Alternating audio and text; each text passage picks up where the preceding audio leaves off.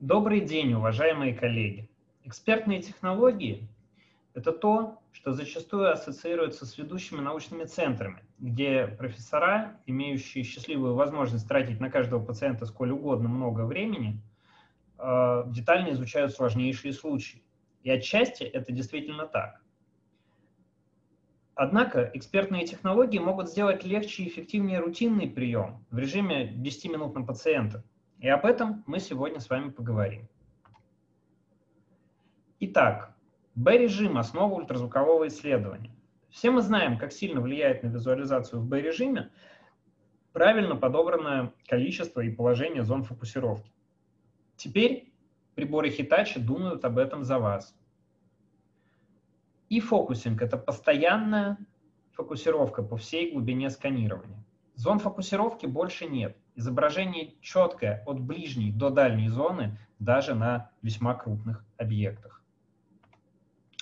Другая технология, существенно улучшающая визуализацию в B-режиме, это carving imaging или резная визуализация.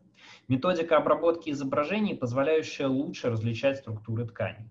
Она включает в себя подавление шума в анахогенных областях, улучшение визуализации тканевых структур, подчеркивание границ разделения сред.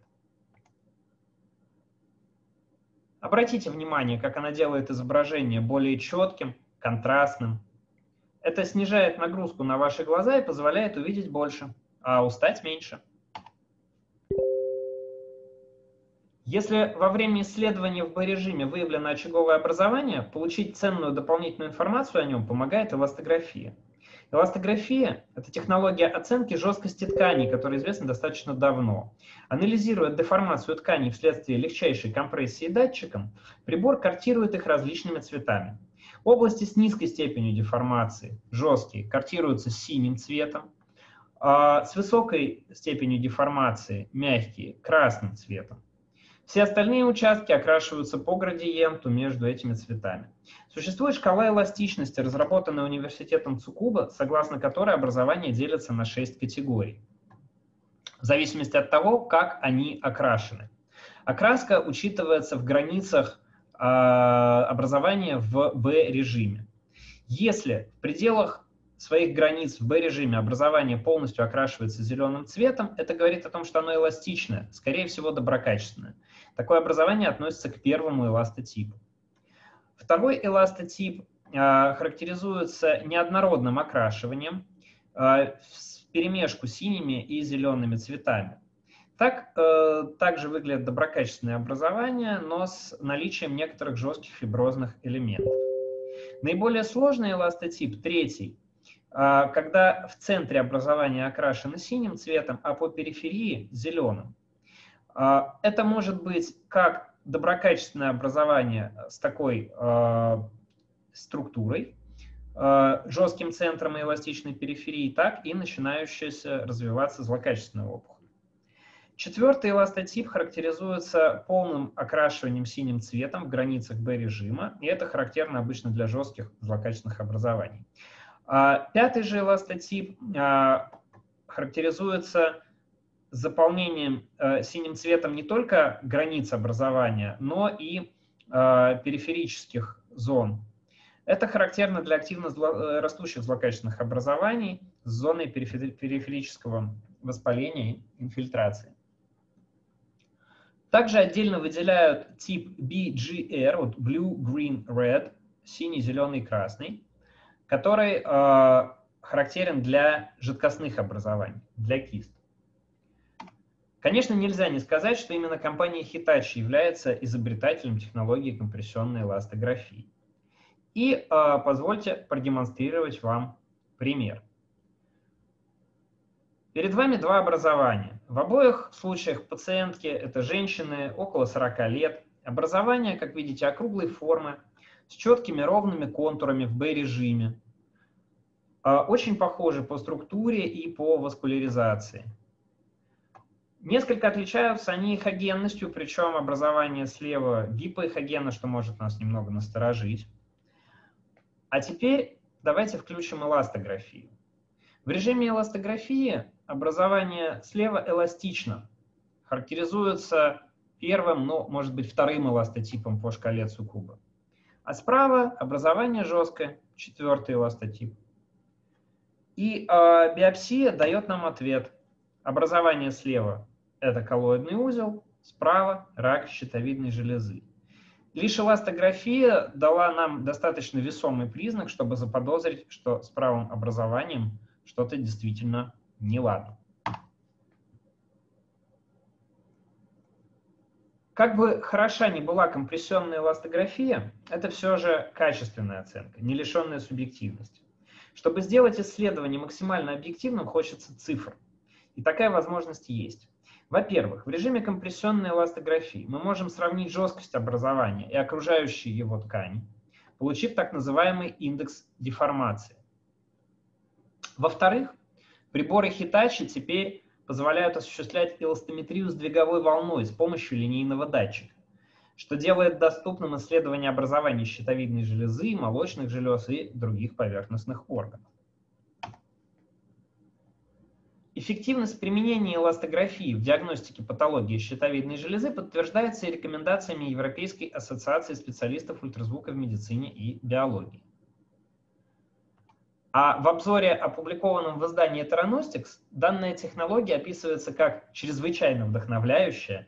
В ней также упоминаются исследования, в которых было продемонстрировано, что эластометрия иногда позволяет получить диагноз даже в случаях, когда биопсия однозначного ответа дать не может. Теперь поговорим о визуализации кровотока. И Flow — это разработанная Hitachi версия энергетического доплеровского картирования с улучшенным пространственным разрешением — но давно применяется для визуализации паренхематозных кровотоков. Этот режим обладает чувствительностью энергетического доплера, однако при этом отображает потоки крови с минимумом артефактов и шумов.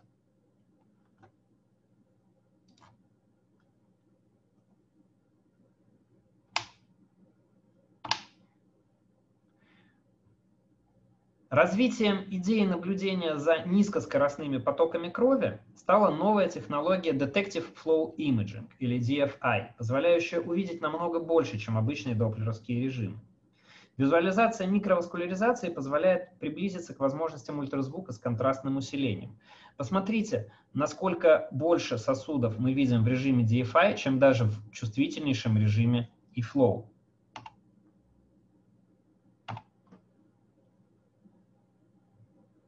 Для более объективной количественной оценки кровоснабжения тканей Hitachi разработала так называемый индекс васкуляризации или Vascularity Index. Он демонстрирует количество сосудов, а технически это количество окрашенных пикселов фиксированной области интереса. Публикаций по данной методике не очень много, однако есть сообщения об успешном ее применении, в частности для дифференциальной диагностики болезни Грейвса и тиреоидита. Важно отметить, что для корректного результата исследование должно проводиться при стандартных настройках усиления доплеровского режима, а также частоты доплеровского сигнала и частоты повторения импульса. Разумеется, важную роль в диагностике патологии щитовидной железы играет контрастно усиленное ультразвуковое исследование. Контрастно усиленное ультразвуковое исследование – это УЗИ с применением специальных препаратов, позволяющих визуализировать сосудистое русло вплоть до мельчайших капилляров. Такие препараты представляют собой пузырьки инертного газа, заключенные в липидную оболочку. Под воздействием ультразвука на определенной частоте пузырьки входят в резонанс, что позволяет с невероятной четкостью визуализировать их в просвете сосуда. Поскольку размер пузырьков примерно соответствует размеру эритроцитов, они не покидают сосудистого русла и таким образом позволяют нам визуализировать сосудистый рисунок в зоне интереса, вплоть до мельчайших капилляров. При этом э, препарат совершенно безвреден и полностью выводится с выдыхаемым воздухом не более чем в течение часа. В отличие от доплерографии, контрастно усиленный ультразвук позволяет визуализировать сосуды любого калибра, независимо от скорости кровотока, а также получить важную дополнительную информацию об особенностях гемодинамики в зоне интереса за счет отслеживания накопления контраста в течение времени. Подробности о клиническом применении ультразвуковых контрастных препаратов вы можете узнать из рекомендаций Европейской ассоциации специалистов ультразвука в медицине и биологии, а также множество различных статей и книг, посвященных данной теме. Когда неинвазивные методы диагностики исчерпаны, на сцену выходит, конечно же, биопсия. И тут Hitachi приходит на помощь с технологией Needle Emphasis. Эта технология как бы вычитает сигнал от ткани, усиливая изображение иглы за счет электронного наклона лучей и усиления гиперхогенных сигналов. С ней намного легче выполнить биопсию и получить качественный материал. Ну и, конечно, я очень хотел бы вам рассказать о новинке не только для компании Hitachi, но и для мира ультразвуковой диагностики в целом. Датчики CIMAT четвертого поколения. CIMAT или Capacitive Micro Machined Ultrasound Transducer – это э, новейший датчик, не имеющий в своей основе привычной нам пьезокерамики. Его рабочая поверхность состоит из миниатюрных пластинок, которые в свою очередь содержат множество микроскопических ячеек. Эти ячейки прикрыты тончайшей кремниевой мембраной. Э, их высота со, составляет всего лишь одну тысячную нанометра. Каждая ячейка представляет из себя фактически миниатюрный электроконденсатор. Под воздействием высокого напряжения мембрана осциллирует, вибрирует и генерируется ультразвук. За счет того, что эта мембрана такая же мягкая, как ткани человеческого тела, отпадает необходимость в согласующих слоях. И это позволяет нам получить идеальную форму импульса и широкий частотный диапазон. Соответственно, датчик обладает крайне высокой разрешающей и проникающей способностью.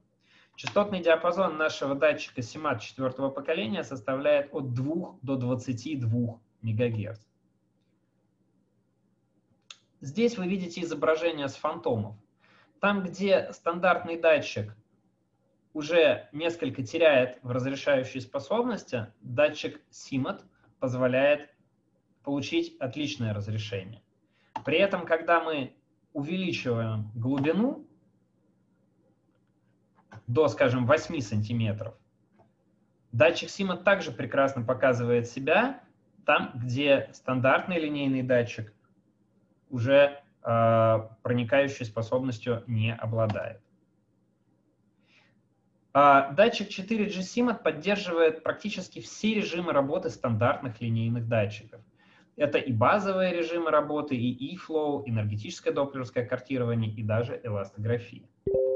Таким образом, один датчик позволяет вам применять его во множестве различных исследований, как в поверхностных органах, таких как щитовидная или молочная железа, так и для исследования брюшной полости.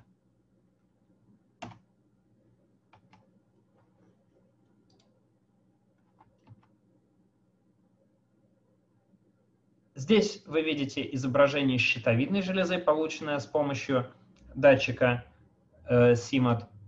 А вот здесь тот же самый датчик, но уже исследование кишечника. Посмотрите, и там, и там вы получаете прекрасную визуализацию. Ну,